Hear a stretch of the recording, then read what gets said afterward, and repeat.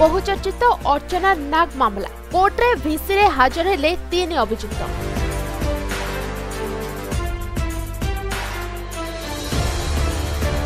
ଅର୍ଚ୍ଚନା ନାଗ ସ୍ୱାମୀ ଜଗବନ୍ଧୁ ଚାନ୍ଦ ଓ ସହଯୋଗୀ ଖଗେଶ୍ୱର ପାତ୍ର କୋର୍ଟରେ ହାଜର ହୋଇଛନ୍ତି।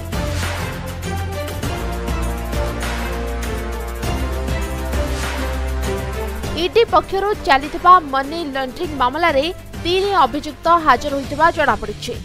ଡିଜିଟାଲ ଏଭିଡେନ୍ସ ସେଣ୍ଟ୍ରାଲ ଫରେନ୍ସିକ୍ ଲ୍ୟାବ୍କୁ ପଠାଇବାକୁ ଅନୁରୋଧ କରାଯାଇଛି ଏଭିଡେନ୍ସକୁ ସେଣ୍ଟ୍ରାଲ ଫରେନ୍ସିକ୍ ଲ୍ୟାବ୍ରେ ଯାଞ୍ଚ ପାଇଁ ଆବେଦନ କରିଥିଲେ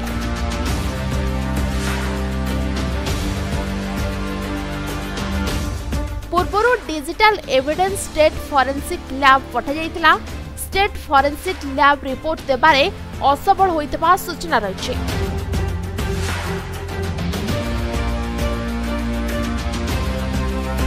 ଅନ୍ୟପଟେ ଅର୍ଚ୍ଚନା ନାଗର ଆଲିସାନ ବଙ୍ଗଳାକୁ ଆଟାଚ୍ କରିଛି ମଧ୍ୟ ଇଡି ଯାହାର ମୂଲ୍ୟ ତିନି କୋଟି ଚାଳିଶ ଲକ୍ଷ ଟଙ୍କା ହେବ ବୋଲି ଜଣାପଡ଼ିଛି।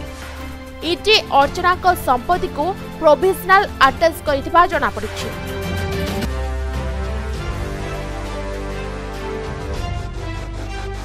ଶହେ ଅଶୀ ଦିନ ଯାଏଁ ଏହି କ୍ଷମତା ଇଡି ପାଖରେ ରହିବ କିଛି ଦିନ ତଳେ ଇଡି ସେହି କୋଠାକୁ ଯାଇ ମାପଚୁପ୍ କରିଥିଲା ଏହା ସହିତ ଭୁବନେଶ୍ୱର କୋର୍ଟରେ ଚାର୍ଜସିଟ୍ ଇଡି ଦାଖଲ କରିଛି। ଅର୍ଚ୍ଚନା ନାଗ ସ୍ୱାମୀ ଜଗବନ୍ଧୁ ଚାନ୍ଦ ସହଯୋଗୀ ଖଗେଶ୍ୱର ପାତ୍ର ଓ ଶ୍ରଦ୍ଧାଞ୍ଜଳି ବେହେରାଙ୍କ ନାଁରେ ଚାର୍ଜସିଟ୍ ଦାଖଲ କରିଥିବା ମଧ୍ୟ ଜଣାପଡ଼ିଛି। ବ୍ୟୁରୋ ରିପୋର୍ଟ ସମୟ ଲାଇଭ୍